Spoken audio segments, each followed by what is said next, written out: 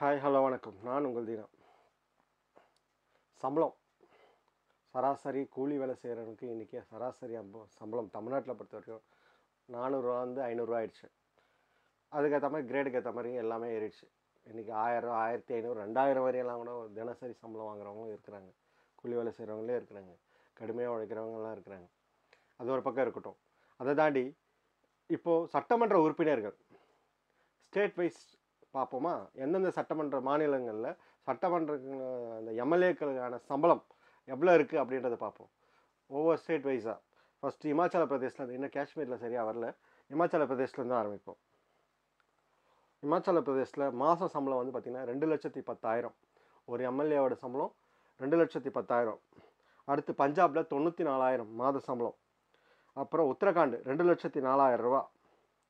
அடுத்து ஹரியானா ஹரியானாவில் ஒரு லட்சத்தி பதினஞ்சாயிரம் ரூபா டெல்லியில் இருக்க எம்எல்ஏ ஆம் ஆத்மி கட்சியில் இருக்க எம்எல்ஏக்கு தொண்ணூறாயிரம் சம்பளம். உத்தரப்பிரதேஷ் ஒரு லட்சத்தி எண்பத்தி ஏழாயிரம் ஒரு எம்எல்ஏக்கு ஒரு லட்சத்தி எண்பத்தி ஏழாயிரம் சம்பளம் வாங்குறாங்க. அடுத்து பீகார் ஒரு லட்சத்தி அறுபத்தஞ்சாயிரம். அடுத்து சிக்கிம் ஒரு லட்சத்தி அறுபத்தஞ்சாயிரம். அடுத்து அசாமில் எண்பதாயிரம். அடுத்து அருணாச்சல் பிரதேசில் ஒரு லட்சத்தி இருபத்தஞ்சாயிரம். அடுத்து நாகாலாந்தில் ஒரு லட்சத்தி முப்பத்தஞ்சாயிரம். மணிப்பூரில் ரெண்டு லட்சத்தி ஐம்பதாயிரம். சின்ன ஸ்டேட்டாக இருந்தாலும் அதிகமாக சம்பளம் கொடுக்குறாங்க. மேகாலயாவில் ரெண்டு லட்சத்தி ரெண்டாயிரம் ரூபாய் சம்பளம். திருப்பூராவில் எண்பத்தி நாலாயிரம் சம்பளம். மிசோரம் மிசோரமில் ஒரு லட்சத்தி ஐம்பதாயிரம் சம்பளம். அடுத்து ஜார்க்கண்டு ரெண்டு லட்சத்தி எண்பத்தெட்டாயிரம்.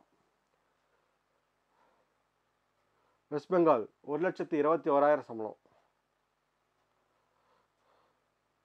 ஒடிசா ஒரு லட்ச ரூபா. அடுத்து மத்திய பிரதேஷ் ஒரு லட்சத்தி ஐம்பதாயிரம். ஹரியானா ஒரு லட்சத்தி ப ஒரு லட்சத்தி பதினஞ்சாயிரம். அடுத்து ராஜஸ்தான் ஒரு லட்சத்தி நாற்பத்தி ரெண்டாயிரம் குஜராத் ஒரு லட்சத்தி முப்பத்தி ஏழாயிரம் மகாராஷ்டிரா ரெண்டு லட்சத்தி அறுபத்தி ஓராயிரம். தெலுங்கானா ரெண்டு லட்சத்தி ஐம்பதாயிரம். ஆந்திர பிரதேஷ் ஒரு லட்சத்தி இருபத்தஞ்சாயிரம். அடுத்து கர்நாடகா ரெண்டு லட்சத்தி ஐயாயிரம். அடுத்து கோவா ஒரு லட்சத்தி பதினேழாயிரம். கேரளாவில் எழுபதாயிரம்.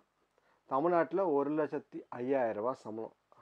இது வந்து சம் புதுச்சேரியில் ஒரு லட்சத்தி ஐயாயிரம் ரூபா அதே மாதிரி. தமிழ்நாட்டிலையும் புது லட்ச புதுச்சேரியில் அதே மாதிரி தான்.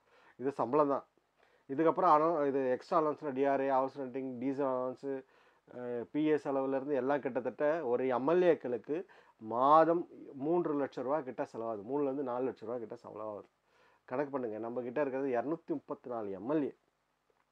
அப்படியே ஒவ்வொரு ஸ்டேட்டுக்கும் கணக்கு பண்ணுங்கள் எத்தனை ஸ்டேட்டில் எவ்வளோ எம்எல்ஏ எல்லாம் இருக்காங்கன்ட்டு. எத்தனை கோடி எம்எல்ஏ சம்பளம் மட்டும். இவங்க வாங்கிட்டு கரெக்டாக அந்த தொகுதிக்கான வேலையை பார்க்குறாங்க. அரசுக்கான அரசு வேலைகளை கரெக்டாக எடுத்துகிட்டு போகிறாங்களா மக்களோட கோரிக்கை எடுத்துகிட்டு போய் கொடுக்குற போஸ்ட்மேன்ஸ் தான் அந்த தொகுதிக்கான போஸ்ட்மேன் தான் இவங்க. அந்த வேலைகளை கரெக்டாக செய்கிறாங்களா இல்லையா?